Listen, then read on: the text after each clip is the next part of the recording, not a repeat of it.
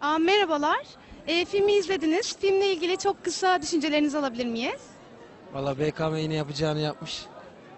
Çok güzel film olmuş. Yani hem kahkaha sesleriyle ağlama sesleri bir aradaydı. Ben çok beğendim. Çok teşekkür ederiz. Teşekkür ederim.